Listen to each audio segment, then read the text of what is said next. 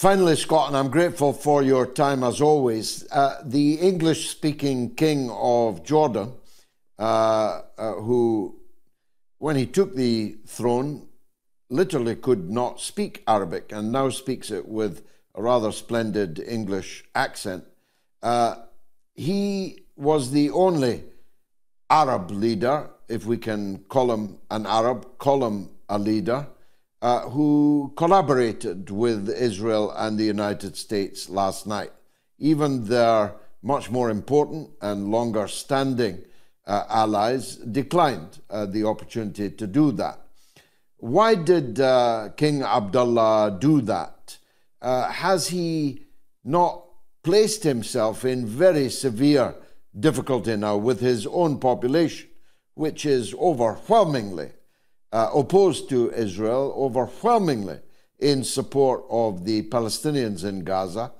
What, what on earth forced King Abdullah to do that?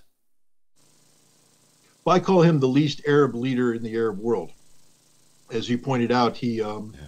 you know, his his his roots, his his ideology, his mindset is very British. It's not uh, it, it's not of the Arab street. He is so far removed from the reality of his people, um, and he is so dependent upon Israel. And I put Israel first, then the United States and in Europe for uh, his continued viability as a leader. Um, his betrayal of the Palestinian cause is, is, is apparent to all. And now his betrayal of the Arab world and indeed the Muslim world is on display uh, likewise. Um, he knows he's in a lot of trouble. The most dangerous thing in the world for the Hashemite king of Jordan is happening, and that is that the Palestinian people have a pathway to statehood. And a Palestinian state is perhaps the greatest threat to this artificial entity called the Hashemite kingdom of Jordan because he's not a Jordanian. He is a Saudi Arabian transplant.